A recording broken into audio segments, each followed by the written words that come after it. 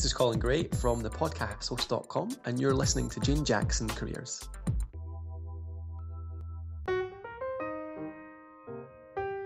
Well, hello, and welcome back to my Careers podcast, where I interview fascinating professionals who've made amazing career changes. Now, today I'm very lucky to have Rachel White on the show, and Rachel is the CFO for high tech startups in Australia.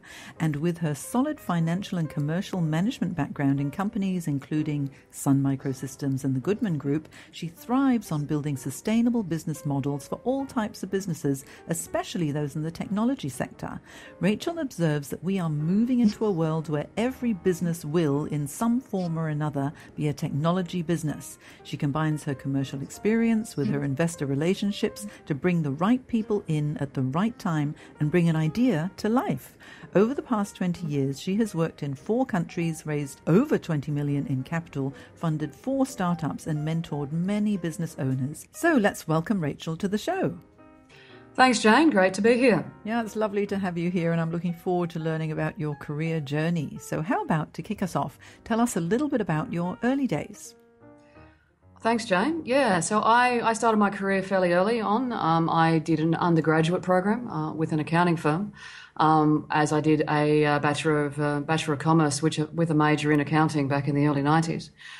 Um, in terms of why did I choose that path, th- there were a few reasons. Um, at school, I was pretty good at maths and economics. Um, hated the sciences, so a business degree kind of made the most sense. Um, and I have a very, very broad streak of independence um, and the ability to do an undergraduate program and start working early um, and to be able to be financially independent was a very big driver. so many of those things uh, pointed me towards these undergraduate programs with the accounting firms. Um, the other thing, I was I was pretty aware very early on that whilst accounting is not a career that children mention at school in show and tell of what they want to do when they grow up, um, it was very much a field that could lead to many, many other things, and especially in business. Um, I had that sense when I was 18, and I've, I, have i have never been proven wrong on that one. Mm. Having a f- solid financial background is so important, especially when later on you may transition into your own entrepreneurial ventures. And so now you've mentioned in your bio that you've worked in four different countries. So mm-hmm. you're from Australia, and then your career has obviously taken you around the world. So can you tell us a little bit about that career journey? Yeah, sure. So, as I said, I did my undergraduate degree and then I did my CPA exams. Uh, that took me through to about the age of 24. Um, at that point, I desperately wanted to travel. Um, and so I moved to London and did the standard two year Antipodean thing um, over there.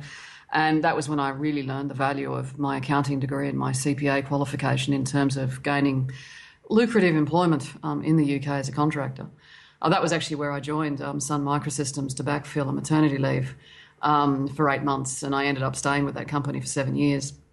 But yeah, so I had two years in the UK all up, where I did a lot of contract work, um, and then I did a lot of traveling around, and I saw a lot of stuff in Europe, and did lots of lots of really interesting things, and that's an experience for which I'll always be grateful.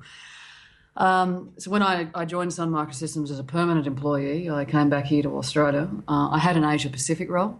Um, and so that meant I was traveling in Asia all the time. Um, I was one of those people uh, for whom, when you asked where I lived, it was 747, seat 37B. Um, so I, I, I, think I did about a million kilometres across 10 years, and a lot of that was through work. Um, yeah, so I spent a lot of time up in Asia. I didn't live there, um, but I, I spent, I did a, a gazillion biz- business trips to Japan, to Korea, Taiwan, Hong Kong, Shanghai, Beijing, Singapore, Malaysia, Thailand, um, and even one to New Zealand. Um, so, and then obviously the, the, headquarters was in California, and so I spent a fair bit of time over there as well. Um, so that took me through from, uh, I came home to Australia in 2000. In 2002, um, they moved me to their corporate headquarters in Silicon Valley. Um, and so I was there from 02 to 05, and that was fascinating. Um, again, as an expat, but this time as a corporate expat as opposed to a backpacker. Um, I travelled all through America. I've been to South America. When I was in Europe, I went to Africa as well. So I've been to just about every continent except Antarctica. Um, but yeah, so I spent three years in California. Um, I learned just how unhomogenous the United States really is. Uh, the word united is actually quite loose. Um, so it's it's California itself has its own culture. New York has its own culture. The Midwest has its own culture. They're all very very unique and very different. Um, and I've actually been quite grateful for that experience of living in America because we kind of get a lens of the US um, through the media and through television and whatnot, which is probably about 50% accurate. Mm-hmm. Yeah, so I did that for three years. Um, in 05, I came back to Australia still with Sun. I had an Asia Pacific role again, did a lot of travel that year. Um, I was very senior uh, within the finance structure by that time. Uh, and I had a choice to make, which was to either, as my mentor said to me, Rachel, you can stay here in the US for the sake of your career, or you can go home and sort your life out. Which is it? Uh, and that was very much a defining moment um, to come back here to Australia. Um, so at the end of 2006, I left Sun Microsystems um, and I went to um, Hotel Club, um, and I was their CFO for 12 months, um, whilst they were owned by a private equity firm in New York, and then they publicly listed during that time on the New York Stock Exchange. Um, that in itself is quite a momentous story in my career, which was one of those where you learnt from where things went wrong, which I'm sure you'll ask me later. Um, but I think uh, during that period, so it was from 98 through to about 2007, I travelled extensively. I was an absolute nomad. Um, and I did about a million kilometres um, in the air uh, during that time. So I have I've had a career that's meant I've seen the world. it sounds like a fascinating, fascinating career and very, very varied as well. Indeed. And so, and so, having travelled really all over the world and worked in your financial capacity, which which location did you enjoy the most? I think I, I look at it by region. So in Asia, Japan is my favourite place, hands down. Um, in in Europe, I'd say probably Amsterdam, followed by London. Um, London is a London. I actually feel at home. You know, I've spent enough time there that I don't feel like a foreigner. I don't feel like a traveller. I actually I'm twenty thousand kilometres from home, but I feel I absolutely feel at home there. Um, San Francisco in America was was great. Uh, I love New York. I couldn't live there. Um, the, the, fact they do construction work at three in the morning would drive me mad. Um, but yeah, so in terms of where my favourite place on earth is, I mean, I had the option to live just about anywhere. I had office in Singapore and Tokyo and to stay in America and then back in London again. Um, I chose here. Uh, Sydney is my home. Um, and so I've chosen to make it work here uh, so, so Sydney is my favourite place on earth. Mm-hmm. I have to agree with you as well. Actually, we share a lot of favourite places in common because I'm I'm actually from Hong Kong. Okay. I love it, and um, anywhere in Asia is is very appealing to me. And I spent about 18 years in Singapore as well, mm-hmm. and of course in London too. But Sydney is just a wonderful place to live. Now, back to you though. Mm-hmm. So, with your career, you came back to Australia, and was that in about 2007? That was 2005. 2005, okay. And so then you had a number of years back in Australia. And then how did your career progress once you came home? Um, so I was pretty clear once I got back to Australia that I actually didn't have a good network here in Sydney. Um, and Sydney's, as you say, it's a beautiful town. Um, and whilst there's huge value in traveling, it's funny. There's there's a, a transition process when you get back. I think that catches a lot of people out um, because you don't have an extensive network here because you've not spent time building relationships here. Um, so basically, from about 2005, when I came home to Australia, I was still travelling extensively. Between then and about 2008, I basically had to build a network here um, to to build an effective career here. Um, so that had several stages. So there was 12 months at Sun once I got home, and that was when I realised just how disconnected I was from from the the, the Sydney um, recruitment market, effectively, or the, the jobs market, um, mainly because I'd spent most of my time overseas. Um, I then, as I mentioned before, had a role where I took a financial controller role at Hotel Club. Um, and the, the issue I alluded to before was I didn't so much get promoted as the, the, the head of finance position basically became open due to circumstances, and I was the person there, and I kind of fell into it. Um, and it was the classic case of making a career jump too early. I had the technical skills, I didn't have the life experience. Uh, so that was why that one was only 12 months. Um, I then, uh, when I left there, I, that was when I jumped into Goodman Property Group and I was their group financial controller from 2008 through 2010. Um, the reason behind that uh, choice to actually go from technology into property, because that sounds most unusual, um, was all the calls I was getting from recruiters was I've got this great job for you here in Sydney, Rachel, where you can then move to Singapore afterwards. It's like to take the head of Asia Pacific finance uh, in a technology group. It's like, yeah, I've kind of already done that. Um, so I was looking for an industry that had real breadth here in Australia, and clearly property does. Um, and so that that was my intention. And so I actually worked with a recruiter who I'd gotten to know during that 2005 through 2008 period that I've done a lot of work with. Um, and he's it's it's funny. It, it, you know how people say people follow the recruiter, the individual, not the actual recruitment firm. That's mm. very true. I follow this guy everywhere because um, we did build up a very strong relationship. I was his maverick candidate. So, you know, many recruiters put in, they'll put in four people, of whom three fit the brief and one's the maverick. I was the maverick. Um, and I, I, managed to attract their attention enough at Goodman to, to solve a, an immediate problem they have because it wasn't anything to do with property. It was to do with reporting and, and integrity of information and that sort of stuff. And I had that in spades. And I managed to convince the CFO of that in about 10 minutes. And so I got the job. That's basically how it worked. Um, so I'm very, very glad of that experience because it gave me ASX listed. So I ended up working for a company that was publicly listed in my own country as opposed to being a multinational subsidiary. So I got to see the other side um, in, in, within the, the finance profession. Uh, the finance profession is so enormous that there's lots and lots of streams, and so this this absolutely filled a very big gap on my resume.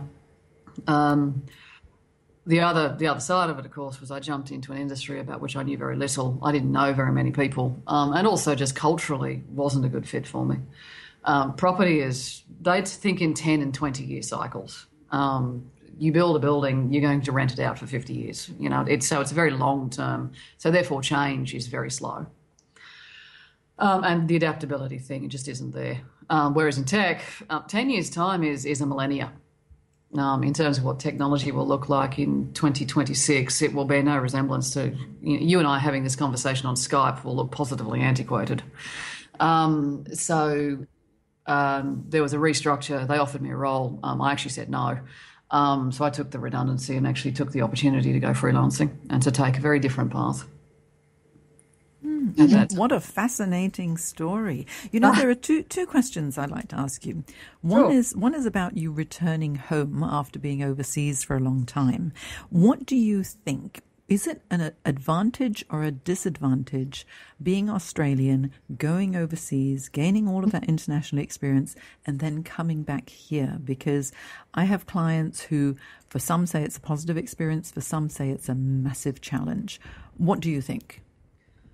Like everything else in life, it's what you choose to make of it. Um, I think what that 10 years traveling gave me was an enormous, enormous depth of experience in different cultures, in how things are done, but also what is actually common between us all. Um, so the issues they have in the UK and the issues we have here and the issues they have in California, they're all the same issues. Cash is king. That doesn't change wherever you go. Um, obviously, the tax rules do um, and some of the locals, you know, some of the local regulations obviously are different, but the concepts on which they are built are actually very, very similar. Um, so I think it gives you confidence in your ability to jump into a situation and, and deal with stuff. Um, mainly because once you've done it in another country, you will figure it out. Um, if you see what I mean. And so, settling back into Australia and thinking about how to grow your networks again, and, and you said that it was limited because you had been away for a long time. How challenging did you feel that was? At the time, enormously challenging because I was at a stage in my life where I actually didn't put huge value on relationships. I thought my knowledge, skills, and experience should be enough. Um, I think in your late 30s, and I, I, I hit this with a bit of a thud um, was the realization that the issues I was having in my career had nothing to do with my skills, ability, and, and merit and experience, or lack of it. Um, it was all about building those relationships. Um, and so I think once I started to value that a lot more, it actually got a lot easier. Um, from a timing viewpoint, yes, that happened at the time that I left corporate and went freelancing. Uh, and clearly, to be an effective freelancer, you really do have to focus on those relationships. Um, your skills and experience is only 50% of the, of the picture. Um, but I think uh, I know I had to learn to value that um, those relationships and just being a familiar and known quantity and how much that impacted decision making and to not take it personally um, when I was not making headway, even though I knew what I was doing, sort of thing. And I think that's because that's not spoken about in interviews. Obviously, interviews are all meant to be merit based. I learned that they're not. Um, so it's almost this element that's very hidden, and you've kind of got to figure out for yourself. Um, but once I did figure that piece out, that that this was around just being familiar in a known quantity and the relation, the very relational elements of business decision making, it all got a lot easier because I, I, just I realized that you know it is that classic acceptance thing. It's like okay, this is how it works. So I need to learn how to do this as opposed to fighting it. Mm. I think when it comes to interviews and what people are actually looking for. Of course, you know, the skills and the knowledge are important and your willingness to be able to work in the way that the company would like you to, whether it's, you know, a lot of international travel or local travel or whatever it might be. But would you say that fit is the most important thing? It's really fitting into the culture um, and also being a good fit with whoever your manager might be. I think both of those are very much symptomatic of, of the the relational elements um, the culture of a company is effectively the relationships, the, the interactions people have within that structure. Um, and, obviously that's set by the person at the top. But uh, obviously, a lot of cultures just end up resembling their, their personality effectively. So, yeah, I think it's in terms of, and especially later in your career, um, obviously in your 20s, you're learning your craft, you're learning your trade. Um, and so the merit and experience based stuff is well and truly sufficient. Um, that was my experience anyway. But yeah, I think it's once you get to your mid 30s, that starts to change. Um, you've learnt your stuff, you know what you're doing. Um, it is, it is at that point, it is about being effective in getting stuff done. And the only way you can do that is to build relationships with other people. Um, and so, obviously, the culture of the company and your relationship with your boss is very symptomatic of of the need to put that as uh, that, those relationships at the front and center. Mm. And how about transitioning industries? Because you had quite a strong focus on the, the high tech, the technology sector, and then moving into property. Obviously, you're focusing more on the financial and the commercial side of things. But did you find it was uh, quite a challenge to change industries, or was it quite an easy ride for you? Um, so I took a role where I was playing to my strengths, and I didn't actually need um, experience in the property sector. Uh, and I was fortunate that there was a CFO who recognised that, um, even though he'd spent most of his life um, in the property sector. Um, so I think that there was a transitional element there. Where I started to run into problems was there's a whole language around the um, the share and equity markets and funds management, uh, which was just actually very unfamiliar to me. Um, and so it was just how do you integrate into a culture when you don't understand their language effectively? Um, so the basics around financial management and business management and being commercial and managing a team and all that sort of stuff was was all fine. Um, but yeah, where, where I and so to do, to do the job I was hired to do was not a problem. It was to progress beyond it. Um, it was almost like an industry will have its own language, and it's very tribal in many respects because it's w- whether you know the language is whether an indication of whether you're in, in or outside the tribe. Um, and it was it was acknowledging that um, that I think was was pretty key. So I think if you're going to change industries, what I because I, I as I said before, the role before Goodman, I was I was uh, you know in over my head. So I very deliberately stepped back into something where I was very comfortable with the content of the role, um, and use that to make the transition, and it was very effective in in the job I was hired to do. Um, but yes, it was making progress beyond that. That was where I started running into problems. So when I went freelancing, I went back to the technology sector.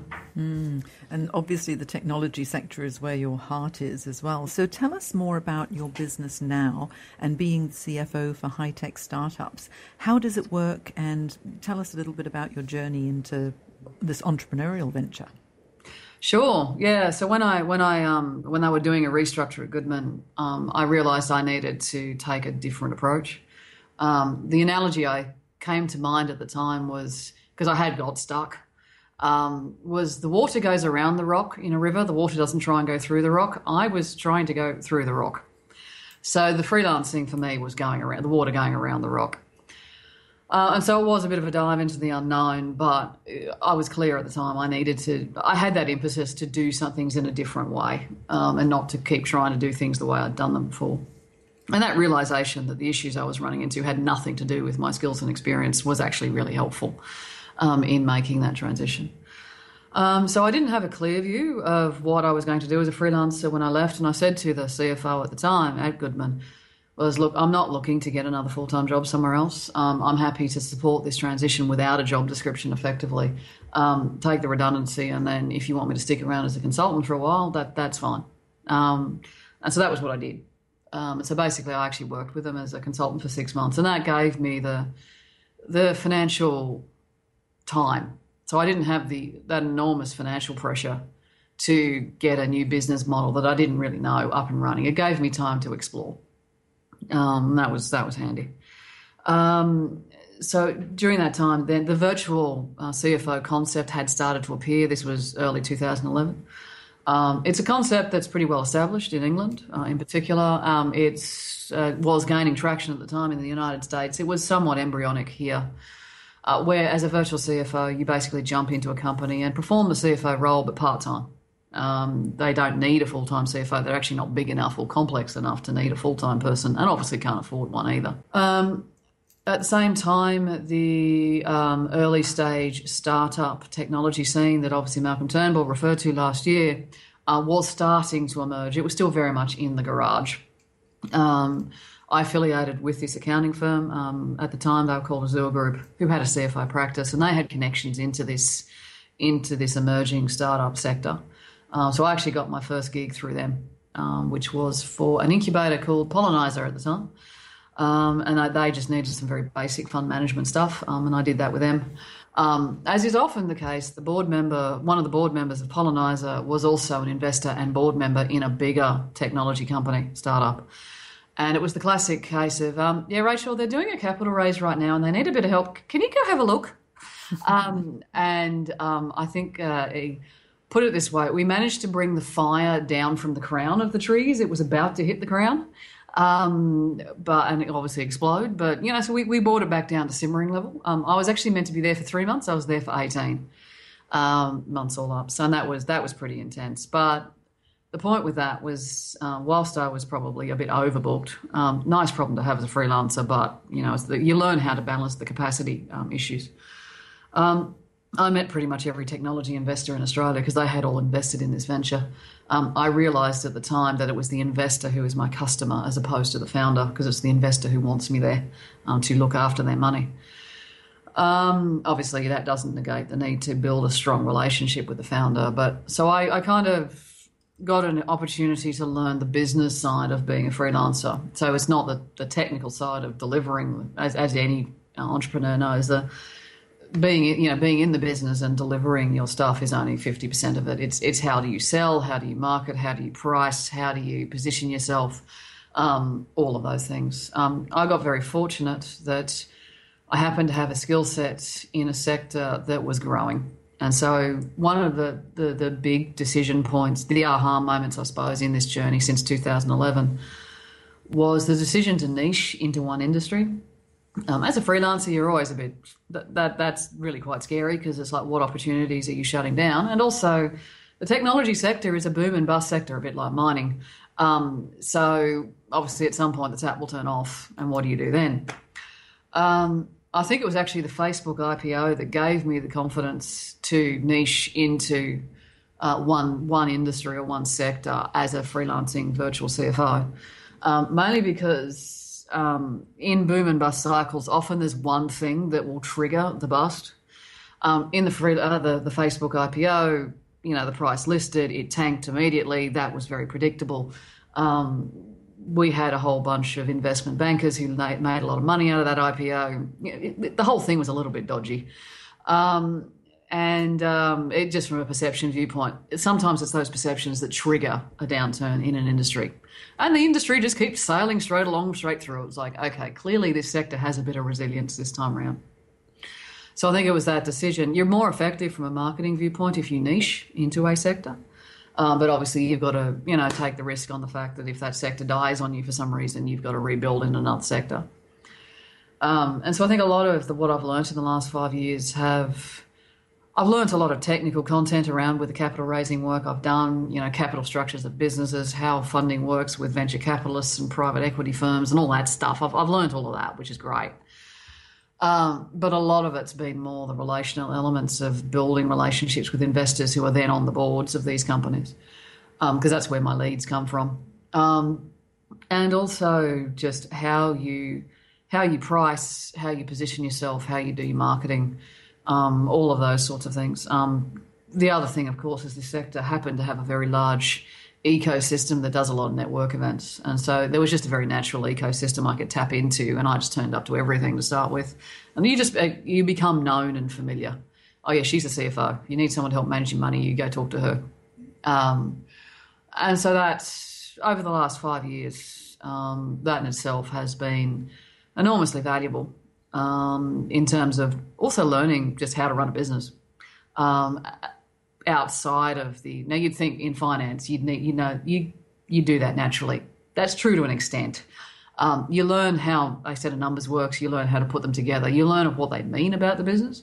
That's very different to actually getting into marketing and sales and that sort of stuff. So i've learned an enormous amount about about how to build a business through that experience Mm, there's so much to learn when it's your own business, and whether you're a freelancer or consider yourself an entrepreneur, the, the technical side, the delivery of what you do, and being an expert in your field, that's not the hard bit, is it? It definitely is. It's the marketing and the sales and keeping everything ticking along. But it seems as though you have now created a really good ecosystem for yourself and your business as well, with all of the relationships from not having very large uh, network when you returned to Sydney to now um, just by putting yourself out there and becoming known as the virtual CFO here, that it must be fantastic. All of the people that you meet and the entrepreneurs and those who've got brilliant tech ideas who need to be put together with the right people as investors. Um, it must be quite a buzz for you. It is, and I won't deny that. I, I do like the thrill. I've had um, tech startups have obviously a notorious fail rate. Um, I, my track record for companies I've worked with is 100% on those who've raised money. Um, so that is, and th- there's a real thrill about doing something which is against the odds. Mm. And now, early on in, in this interview, you said, You're sure that I'm going to ask you what went wrong. Now, what are we talking about there? What went wrong at which phase in the career? Um, so it was when I left Sun. Um, so it was my first job back here in Australia where I wasn't working for Sun Microsystems. Um, I think it was it was a compounding impact of a whole bunch of things. Um, so I came back in April 05 and around Christmas of that year I started hunting for another job. And I, of course, thought with my international experience and depth of uh, my, my, resume and all the rest of it, this would be a walk in the park and it would take two or three months and we'd be done. Um, I was wrong, horribly wrong. Um, so it took me, I think, seven months all up to actually get an offer that was even slightly, you know, to even get to the stage of an offer um, in a role in the first place. Um, that, of course, was deeply demoralising. Um, I actually sunk into a very deep depression for a while. Uh, my friends were, I think, were deeply concerned. Um, but yeah, so it was. I think it was that was the start of me learning to actually put value on those relationships and networks because obviously that was what I didn't have, and I just assumed that oh, everyone will think she's a genius and she can get stuff done. Of course, we'll hire and we'll we'll all be good. Yeah, it doesn't work that way. Um, so I was oh 33 at the time, so I was starting to hit that age where you know there's confidence and there's ego, and at some point it, it gets cut, and that was that for me was was was the beginning of, of learning my own what's the word? Humanity mm. i suppose. You know i'm, I'm not invincible. Um, and i mean I, I, managed to carry through a big chunk of my career without ever hitting that one and i think we all hit it at some point. I hit it at this stage which was when i was about 33 um, so the job i so obviously by the time i got an offer i was pretty keen to take it um, I didn't really have a lot of options on the table, and it was all the culture at Sun had changed. Um, it used to be this amazing company that was very dynamic and growing and very encouraging of people to learn and to try new things, and that completely and utterly changed. The, the, the culture became an absolute nightmare. Uh, so people were leaving left, right, and centre. That staying there wasn't really an option. Um, so when I took this role, um, I had looked for something which was a step up, but not too much. So I was a financial controller for a company called Hotel Club, which had been acquired by a massive conglomerate. Um, and with a view that it had a shared finance function, and what that meant was there was lots of other finance professionals around me, and there was people I could learn from, and I could grow into this. And I was managing a team of 24. I mean, before that, I'd managed a team of 10, and that was that was the biggest. So I knew that the people management element was the biggest part, and that was actually my biggest surprise because I didn't think I was actually very good at it. Turns out that that was actually one of my strong points when I actually got into this this job. Um, I still have people who work for me there who are still connected with me. Um, so when I uh, between taking this job offer and actually starting, the corporate structure of this conglomerate changed. So they split it into four chunks and they put the travel bit together and they sold it to a private equity firm. Um, the day that transaction was done, and that happened before I actually started, they actually started taking all their digital online brands within travel and chunking them together to IPO them because uh, that was how they were going to maximize their value. So by the time I started, the role I was thought I'd taken wasn't actually the role I ended up with. Um, because of that, of these changes, the shared services function started to distance themselves from from this group. Uh, so there's a lot of politics in that, and again, that all took me by surprise a bit. Um, so I started in this role in October. It was intense. Um, it was, you know, 70, 80 hour weeks, uh, hours a week, and I wasn't keeping on top of things. Um, and that was a real shock because that was the first time in my life where I felt overwhelmed, I suppose. Um, and then the absolute nail in the coffin, and this isn't a pun, I'm afraid. Um, the managing director was very much a people person. He was a great guy. And I think if he got diagnosed with pancreatic cancer in January and he passed by April, uh, it was vicious, it was nasty. And so all of a sudden, I'm completely and utterly on my own. Um, they put in a temporary C, uh, CEO, um, managing director she was in her late 20s. She was the marketing person, very skilled, very capable, but she's in her late 20s. I'm in my early 30s. And the pair of us are leading this company, which turned over half a billion dollars that year with 400 people around the world. Needless to say, the panic attacks started kicking in and all sorts of stuff. I went to a coach and they asked me the standard first question, which was, So what's the worst that can happen? Well, I royally screw this up. This company goes bankrupt and 400 people around the world lose their job. And they went, oh, that is serious. And I went, yeah, it's why I'm here. so, um, so, yeah. Now, the second question they should have asked me, which they didn't, uh, was what's the likelihood of that happening? Obviously, very low. Um, but yes, I was in over my head. I was overwhelmed, um, and I stopped sleeping for six months. It was it was horrible. It was awful. Um, so towards the end of, and the other thing is they IPO'd this company, and during which is an inter, uh, an initial public offering. So it's when a company lists on a stock exchange. Um, and so they did that in New York. And so it's a six month process where money is no object. Um, you will get this project done and get it done now, which means that people can call you at three in the morning. I, I lost control of my calendar. Um, I could have people from New York call me, and you had to get on the phone and call right now. By the time there was someone in the business I'd bumped three times, I, I knew there was a problem. Uh, and there's just nothing you can do about it. Um, it's just the way those processes work. So, um, yeah, so basically, I was in a role which I hadn't even been promoted into. I didn't even officially have the title. Um, they knew they were going to hire the position once they had IPO'd. Um, and so, yeah, I mean, various things went wrong. Um, and it also, you know how these things snowball. Anyway, so I had my annual review with my boss, and um, he basically said to me, Look, we're looking to obviously list this position. It was bigger than we ever first thought. You're very welcome to apply for it. My instant reaction was, No, thank you. Um, so I took the redundancy. Um, so basically, they gave me a graceful way out. I took it. I must say, watching Tony Abbott last year, it looked very familiar because I actually was watching a man who looked completely overwhelmed by his job. Um, and he was offered the graceful way out, and he, well, I don't think he did take it. So it's you know it was I felt for him because I'd actually been there. Mm.